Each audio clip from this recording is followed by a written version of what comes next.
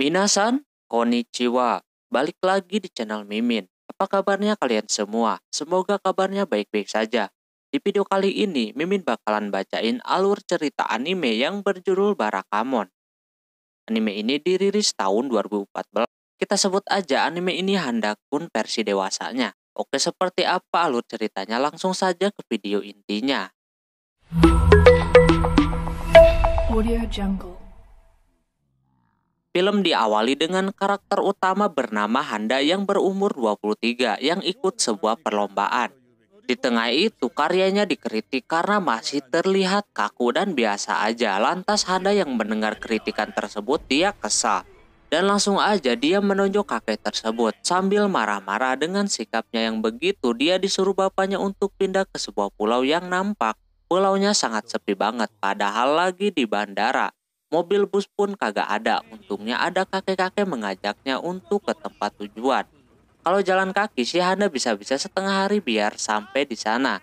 Terus kakek itu berusaha mengobrol sama Handa dan di situ dia menunjukkan laut yang sangat indah. Cucunya sangat senang sekali sama laut namun sayangnya hati Handa lagi galau jadi kagak bisa menikmatinya. Tak lama kakek itu menurunkan Handa di tengah jalan karena dianya mau ke ladang. Sesampainya di sana udah ada barang-barang si Handa yang nyampe duluan. Mereka kagak mau bantu untuk memasukkannya ke dalam. Dibarengi dengan kepala desa yang datang memberikan kunci. Anda meminta untuk tidak diganggu selama satu minggu, tapi itu pintu kagak bisa kebuka.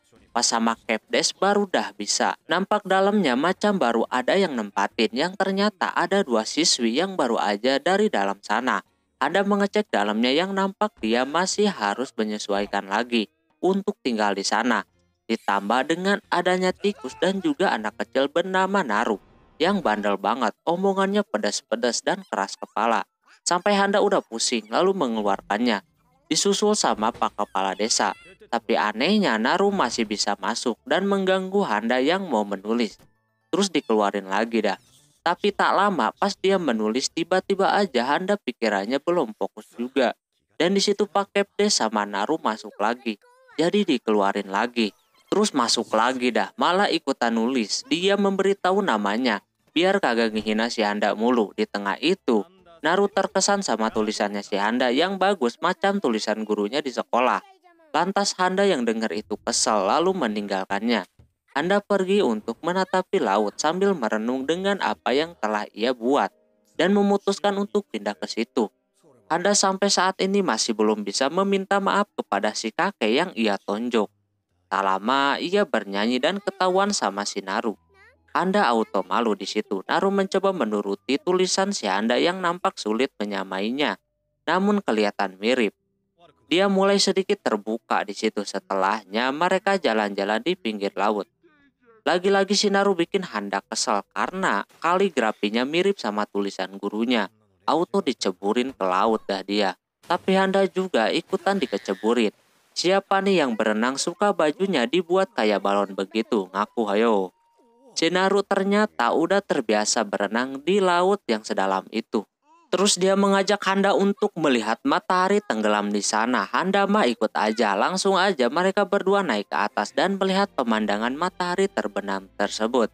Malamnya mereka pulang dan bertemu kakek-kakek yang nolongin si Handa. Ternyata itu kakeknya Sinaru.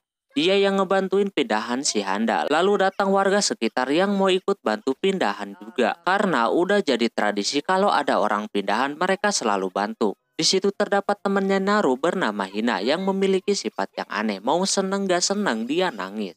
Ada lagi bocah yang bernama Kenta yang bengal menoblos Handa di bagian belakang. Auto lemes dah. Lalu ada juga kepala sekolahnya yang sama-sama kelihatan bengal. Setelah itu para warga membantu beres-beres rumahnya si Handa. Sesudah beres, Handa kembali menulis. Tak lama si Kawapuji nelpon. Menanyakan keadaan di situ, Handa udah ngerti kenapa dia dipindahkan ke pulau itu. Terus dia juga menyuruh Kawapuji untuk menyampaikan permintaan maafnya kepada si kakek yang dia tonjok.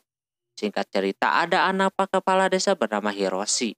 Dia dapat masalah dari pelajarannya yang dapat nilai kecil mulu. Padahal dia suka belajar, tapi orang tuanya mencoba untuk tidak bersedih.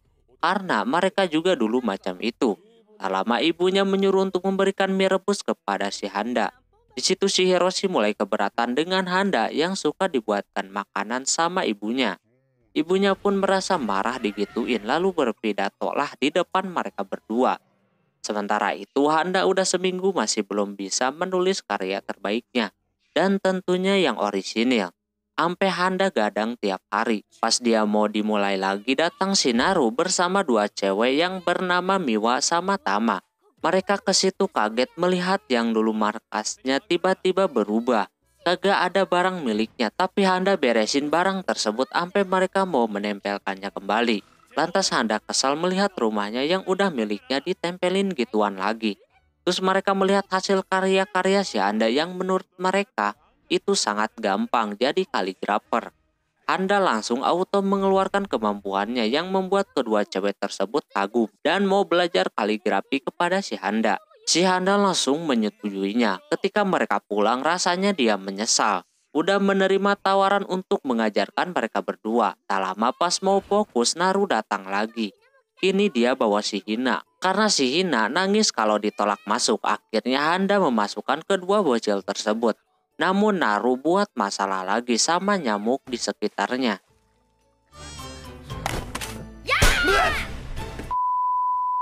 Auto dihukum dah, lalu mereka pulang. Handa udah kagak tahan pusing mau mual. Di sisi lain, Hiroshi mengunjungi rumah Handa. Dia masih kesel aja disuruh-suruh kayak gini. Apalagi pintunya kagak dibuka-buka. Tak lama Handa keluar dengan kondisi yang lemas. Dan tiba-tiba aja dia muntah di pelukan Hiroshi. Naru yang balik lagi merasa panik melihat Handa begitu, sampai keributan pun terjadi. Terus Handa dibawa ke tengah rumah. Hiroshi aneh kenapa Handa pingsan. Naru memberitahu kalau itu udah kebiasaan dia yang suka bergadang setiap hari. Demi menghasilkan karya terbaiknya. Di situ Hiroshi juga macam itu. Naru sadar kenapa Hiroshi dapat nilai jelek mulu. Walaupun udah bergadang. Terus Naru memperlihatkan kamarnya Handa yang dipenuhi dengan tulisan kaligrafi. Walaupun Handa itu orangnya berbakat, tapi dia terus berusaha bergadang demi mendapatkan hasil yang terbaik. Hiroshi yang selama ini suka setengah-setengah belajar, dia pengen dapat hasil yang bagus. Ketika melihat Handa begitu, dia langsung tersadar. Tak lama Handa pun terbangun. Hiroshi memberitahu kalau ini adalah terakhir kalinya si Handa dimasakin. Dia bakalan belajar lebih giat lagi. Dia terinspirasi dari si Handa. Di situ Handa pura-pura kagak dengar, lalu si Hiroshi pulang aja. Esokannya ketika Naru ke sana lagi, si Handa udah tergeletak di sana. Handa auto dibawa ke rumah sakit. Dia terlalu banyak bergadang dan kurang gizi. Dia bakalan dirawat semalaman di sana. Tak lama apa kepala desa itu mau pulang. Dia memperkenalkan suster yang baru nikah. Si Naru masih aja belum pulang. Terus datang Miwa sama Tama. Mereka mampir sepulang sekolah. Kebetulan deket juga. Di situ mereka panik ketika infusannya habis. Wah, auto heboh dah dan langsung menekan tombol dan Handa pun pingsan lagi saking paniknya. Setelah udah diatasi sebenarnya kagak perlu panik macam tadi. Si Handa panasnya makin naik, dia pengen istirahat. Suster itu menyarankan untuk memakai supositiria, tapi Handa takut sesudahnya si Naru diam di bawah kasur. Takut Handa kenapa-napa lagi, dia bisa langsung pencet belnya. Terus dia juga takut hantu yang ada di rumah sakit tersebut. Tapi dia pengen melihatnya, lantas Handa yang takut sama hantu kagak mau dengar. Tak lama datang si Hiroshi membawa barang pesanan si Handa. Namun kagak ada alat tulisnya di sana. Karena dia tahu kalau Handa masih lemah, sorenya mereka pada pulang. Pas Handa masuk lagi, ada pasien kakek-kakek yang menanyakan kondisi si Handa. Dia kamarnya sebelahan sama si Handa. Dia memberitahu Handa kalau orang-orang itu sangat mengkhawatirkannya. Lalu kakek itu pergi. Di situ entah kenapa si Handa bersemangat lagi dan berencana mau nulis lagi. Dia maksa si suster untuk membawakan alatnya sampai ada kesalahpahaman. Jadinya si suster ngasih supositiria. Supositiria itu macam obat yang dimasukkan lewat belakang. Keesokannya si Handa udah bisa diperbolehkan pulang.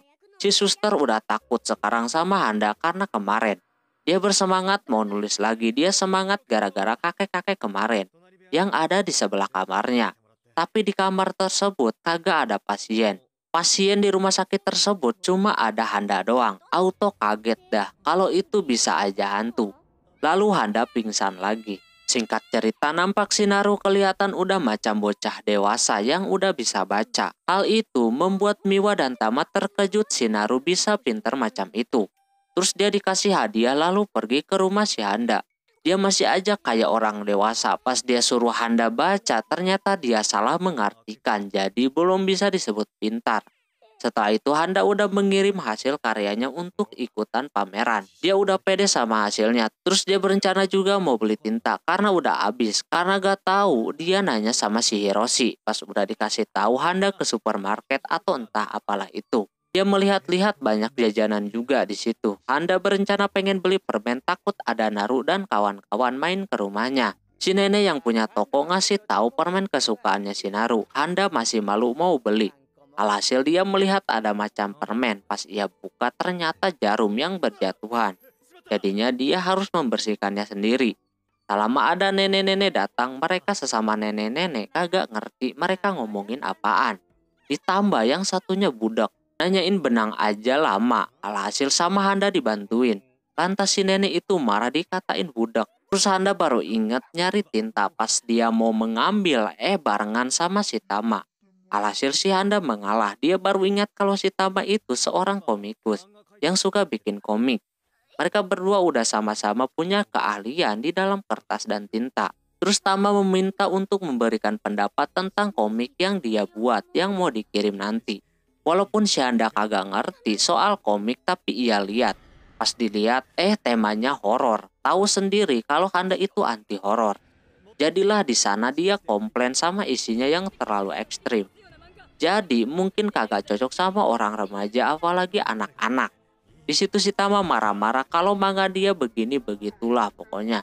Sehingga Handa kagak bisa dikasih waktu buat ngomong. Alhasil karena kejadian itu Handa diberi pinjam komiknya banyak banget. Sesampainya di rumah si Handa dapat makanan dari si Hiroshi dan dia juga memberikan tinta kepada si Handa. Yang mana sekarang tinta lagi laku-lakunya sebab anak sekolah ada tugas.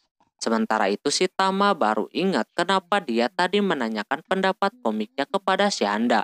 Bisa-bisa dia menyebarluaskan kalau Tama itu seorang otaku pujusi. Karena gak mau hal itu terjadi, Tama pergi mengunjungi rumah si Handa. Di perjalanan dia mikir-mikir dulu sewaktu dia baru awal-awal membaca komik. Komiknya bergenre batang sama batang yang membuat dia jijik membacanya. Sampai sekarang dia benci baca komik gituan. Sesampainya di rumah si Handa, dia melihat pemandangan yang dia benci.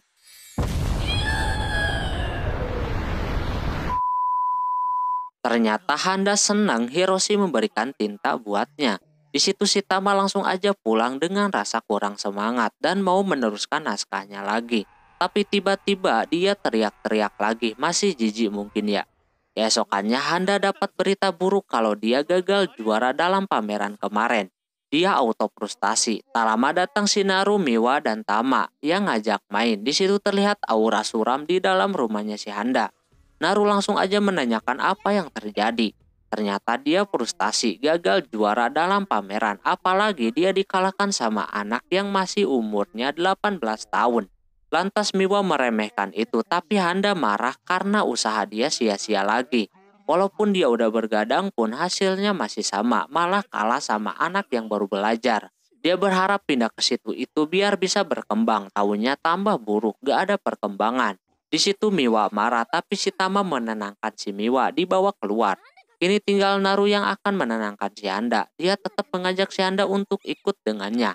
Alhasil dia ikut. Nampak di situ Naru membawa kresek yang katanya buat mungut kue beras. Dia baru tahu kalau ada acara gituan. Tak lama sampailah di pelabuhan. Ternyata dibagi-baginya sama kapal yang ada di sana.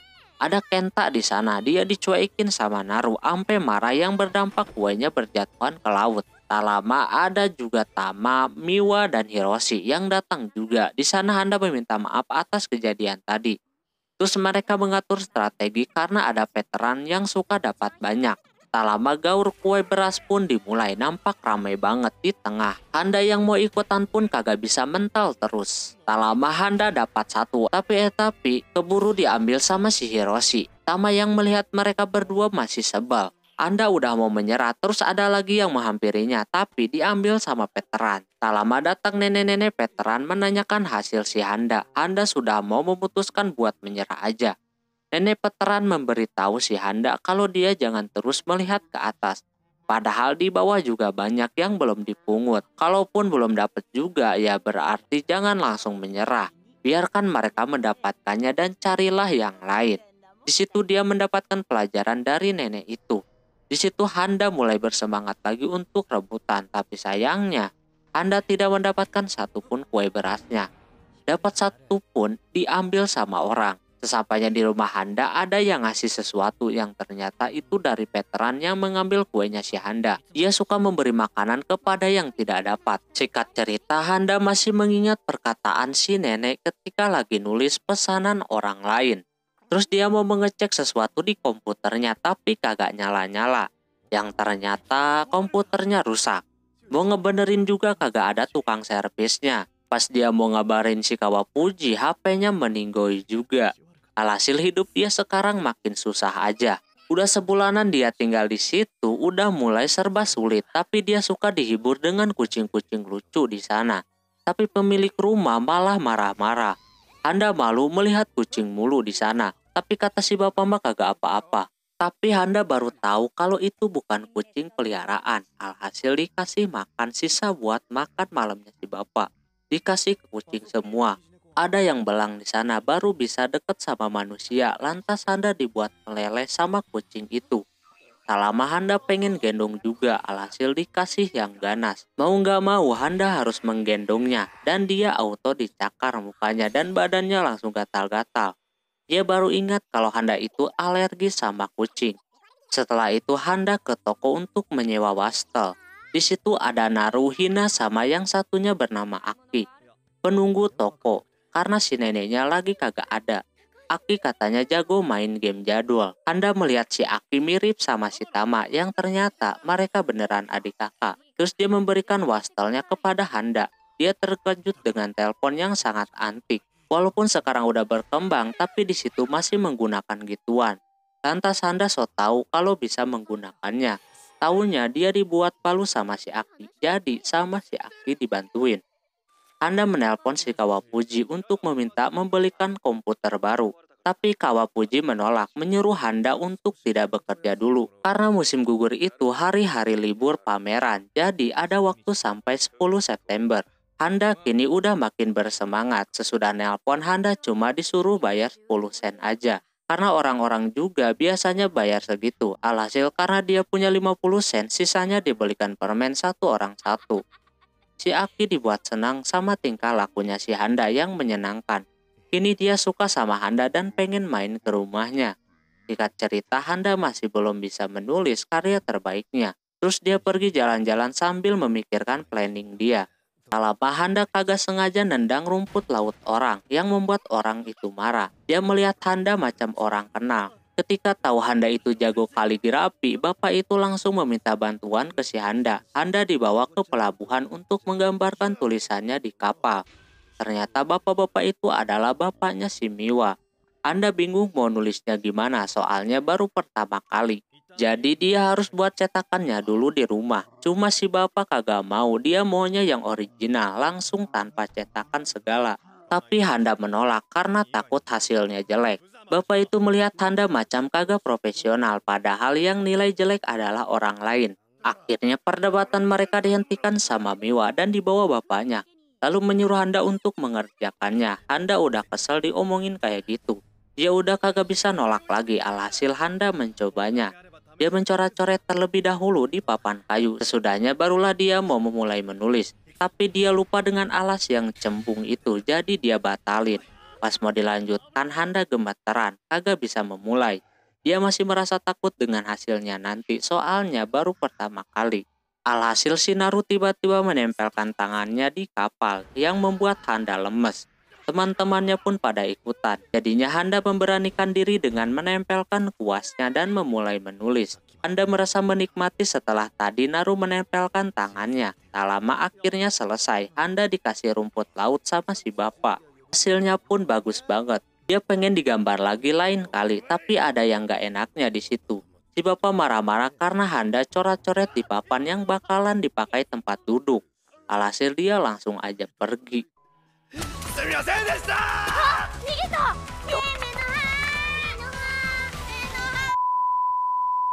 Oke mungkin segitu dulu untuk video kali ini. Bila anime ini mau dilanjutkan silahkan like yang sebanyak-banyaknya.